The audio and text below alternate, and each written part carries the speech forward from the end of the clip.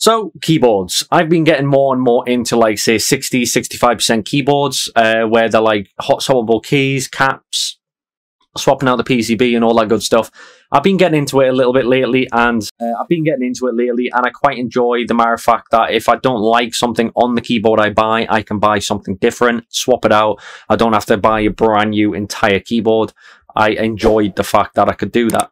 So today we're looking at a keyboard from Royal Kludge. I think I'm pronouncing it correctly.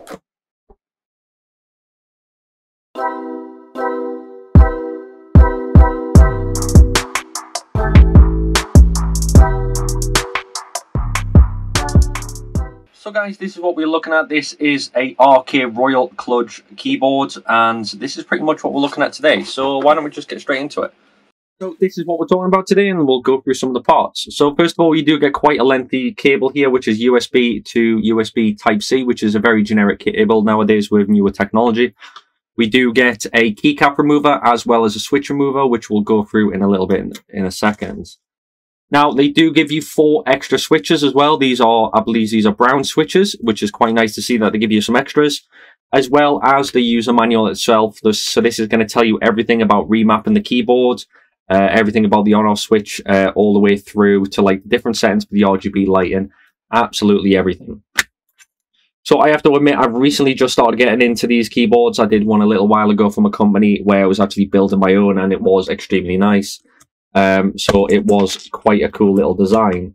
Um, but these keyboards I do like. Obviously, I don't know a massive amount of them before I started. But since I built my own, obviously everything down to the PCB to the boards, I kind of know roughly what's going on inside. So this is the keyboard we're looking at today. 60% keyboard, um, all black. It's got RGB lights all underneath. The switches are brown switches, so it's relatively quite, relatively quite silent. Uh, which isn't too bad. So just on the bottom here, we do have all plastic back with the RK Royal Kludge uh, logo going on there. And then we do also have the back of the board as well. So the keyboard itself is on an incline, as you can see, shorter at the bottom than as we go, it is quite larger. This basically minimizes the fact of having feet on the keyboard. So this is where it's pretty much sat permanently. Four rubber feet, two in each corner, just to allow for that extra security. So when you are on a, tab, uh, on a table or a, a mouse mat, the keyboard's not going to stop flying all over the place. Now you do have your USB receiver, which is fitted inside the keyboard as well. So if you do want to travel, obviously you don't have to worry about this. That can just slide in right there and you are good to go. And it is got a little magnet inside there, so it does uh, stop it from falling out, which is a really nice idea. I did like that. Now on the bottom here, we do have the on-off symbol, on-off switch, and over here we do have B and G. Uh, I believe one is going to be for Bluetooth and the other one is going to be for the actual receiver as well. So it's quite cool that they give you that availability to swap it out. Now I'm going to turn this on, turn it over. Right, so obviously RGB lights going on at the moment, but just to start off with, as we can see there, we do have the brown switches going on. As we can see, the RGB light through off, and these switches, obviously, they do come out. So with the little handy dandy tool that they've given us, all you need to do is pinch the switch, and the switch itself just comes out like that, which was extremely easy. Just like that. And then just to put it back in, you just line up the two pins that are here, line that up properly, pop it back in, and you are good to go and dusted. Now, this is obviously hot swappable. You can use your own switches with this if that is what you prefer. You know, red switches, black switches, all that good stuff. There is a ton you can buy out in the market. So if that's something you are interested in, obviously you can. I'll put some links in the description below so you can go check some out for yourself. Uh, but yeah, so what we're going to do now is we're going to dim the lights and we're going to go for the different RGB effects to show you exactly what we are working with. So what we're going to do is I'm going to cycle through each of these and there'll be a little heading up here how to actually turn it on and off and then we'll probably go from there. So just to start off with a simple FN key and then you've got two little tallies here to actually turn down and turn the different cycles on and off. So that's as low as it goes and then you can turn it obviously up to there. So we'll start off going through the functions and we'll go from there.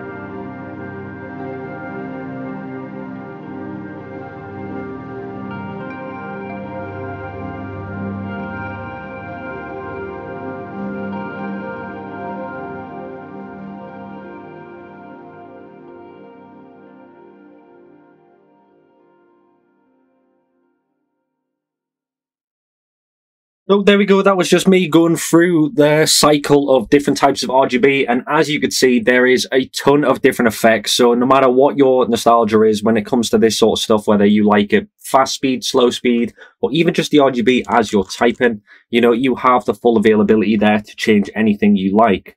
Now, like I said, these are completely remappable. So if you want to change all the switches, if you want to do anything like that, all you need to do is this handy little dandy tool that I've given you. Pop that out and then pop all your keys off. You can unscrew your actual board and it's just as simple as squeeze the switch, pop it out and you are pretty much done and good to go. And that really is as simple as it gets. And then simply line up the pins as you put them back in. And you are good to go. So I definitely have to admit, for something like this, if you are interested, obviously head down the links in the description. There'll be a link there so you can go check them out for yourself. But like I said, the FN key does control everything. You've got everything from your numbers buttons, but obviously FN will also control the function buttons. You've got your print screen control, page up, page down, home, insert, even your arrow directional keys. So you can even do that. But like I said, you can reprogram this. If you do read the manual, it'll tell you everything you need to know about this. So don't worry about that. And like I said, if you do end up getting one and you do struggle with anything at all, drop them down in the comment section below. I'm more than happy to help as always. And of course, this is definitely going to be a thumbs up from me. So guys, there we go. That was the keyboard review. And I have to admit, it turned out really well. I do like the fact that um, I can take the caps out, I can take the keys out, and I can swap them around. I can make this look a little bit more stylish if I wanted to, or if I wanted to use my own personal keycaps, I can do. Now that is something I really did enjoy the amount of scenarios and features they have for the RGB as well really did kick kick it off from there.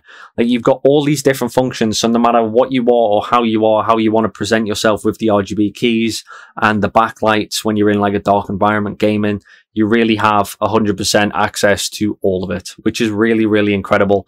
And like I did explain, it does come with a cable and the tool as well as some extra switches just in case they do get damaged or anything. So you really are not going to struggle with a keyboard like this. So if you do want to go check one out for yourself, links are all in the description, so you can go check them out. And if you do have any issues, drop them down in the comment section below. More than happy to help. But as always, don't forget to like, subscribe, and hit the notification bell. And as always, have a great day.